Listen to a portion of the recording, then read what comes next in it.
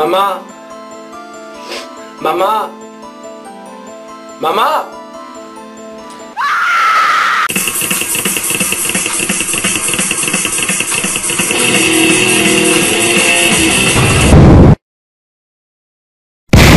Hola gente, ¿cómo están? Bienvenidos una semana más a un videoblog con Víctor. Estamos 26 de octubre y lastimosamente este día lo recordaré por no haber pasado mi prueba de conducción. Pero como siempre digo, respira hondo y sigue. No era respira hondo y manda todo el carajo. Bueno, y como estamos a finales del mes de octubre Todos los bloggers toman el tema de Halloween. Fiestas, disfraces, películas de terror y todas esas cosas. Entonces como que todos ya han saturado el mercado del Halloween. Entonces hoy hablaré de algo distinto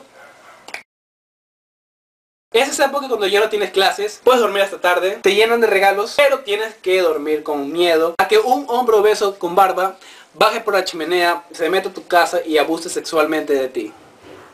Paro, paro, paro, paro. El Halloween, la tradición de disfrazarse de monstruos, brujas, y cualquier otra porquería. Aunque obvio te va a salir el típico nacionalista que te va a decir Hoy el 31 de octubre se celebra el Día del Escudo. Verga, nadie celebra el Día del Escudo. Tú sabes muy bien que cuando estabas en el colegio, llegaba el 31, si caía en día de clases, todo el puto mundo iba disfrazado de cualquier porquería.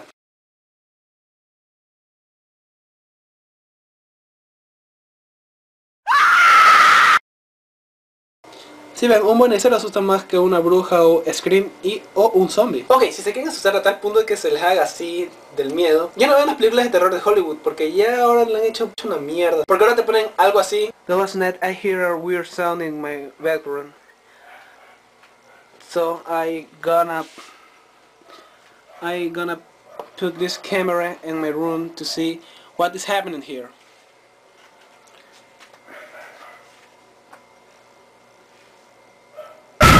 No, señores, entiéndanos, no, no asustan porque de miedo, sino porque te sorprenden. Una cosa que te venga a, decir algo de terror, que te, que te asuste por miedo, no algo que te coge.